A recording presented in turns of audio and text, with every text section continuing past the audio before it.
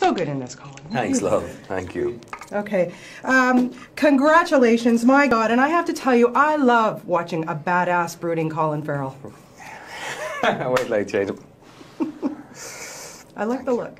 Thank. How much fun did you have making this, Colin? Uh, I had lots of fun making it. I had lots of fun in Albuquerque in the summer and beautiful sunsets every day and with a good, great bunch of actors.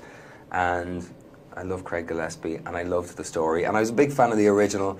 And the, the whole idea of vampire lore and vampires in literature or film is something that I've always been a fan of. And to get the chance to do it and to do it in this way, it was a huge kind of box to tick for me. Yeah. Yeah, it was a lot of fun. It really was. How was it finding your inner vampire? I mean, you treat it the same way as you treat a piece of a piece of theatrical text, you know, from Grecian days. You know, you take this, you treat it with the same level of seriousness. That's the kind of ridiculous about it all, and then throw it all away. So the prep for it was like I was sitting down with someone and we were talking backstory and writing, you know, Jerry's 400 year old backstory and where he was born, where did he start, where was he in Versailles, and you know, where was he in the late 1800s in London, who did he drink with, and what taverns and shit.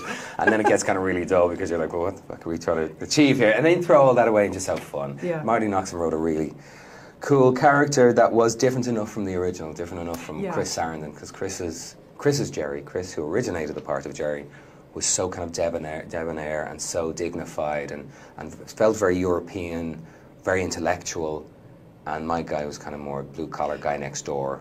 But very mischievous. Very. Yeah, brutal. No, the trickster. My guy was kind of like the trickster very much, and and and bored, and and you know, a bored vampire is a very dangerous thing. And my guy, I think, because there was a lot of things in the film that are like, why is he doing this, and why would he do that? Is he not drawing too much attention? Is the idea not to survive? And it kind of came around because you have to rationalize things, of course. That um, are certainly justify behaviors. Is that he was quite bored. Yeah. You know that, Yeah. that and the level of omnipotence that he that he felt within him. His ego was well, his ego wasn't human either. What I've been loving about you so much, Colin, lately is that we, you're so mixing it up with your roles. Yeah. Horrible bosses. You you fun. stole the film. I couldn't stop laughing. That comb over alone just set me away. Then you know Fright Night, and then of course we're going to see you in Total Recall, and then the way back. I mean, again, another It's amazing. It's too late to rock the, t- the comb over for Total Recall. Maybe No. they can CGI Well, it. if you think if you could walk down the street with that comb over, for the rest of your life, do you think your fans would like that? I thought, I thought that the ones that I've met as a result of horrible bosses would not mind. The reaction on seeing me probably would be one of, you know, loud laughter. But picking Probably these make these me very paranoid. yeah, but picking these these different, you know, must be fantastic for you to, to mix it up. It is, love. It's so much fun. Genuinely. I mean, you know, I've I've heard actors and read uh, actors say it, um, and I it's it's certainly is, is true to my experience that I really get the chance to walk in as, as many pairs of shoes as I possibly can, you know, on this journey, and I just it just makes it more interesting. I just really do.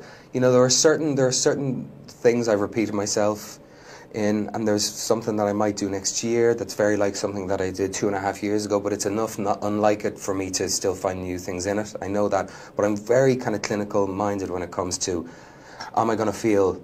Because three or four months is long enough. It's Yeah. not long in, in, in the grand scheme of things. In, in, a, in you know the telling of a whole of a long life to eighty, it's not it's not forever. But to be on the road, away from your family, to be mm. immersed in something 10 or 12 hours a day, three or four months, it better sustain your interest. And you never know if it's going to, but you can judge as best as possible from reading it, project your mind forward and go, okay, is this going to keep me interested? That simple thing. Yeah. And if it's something I've done before, I can, I can create a world of fiction around it that'll kind of run out of steam about a week in.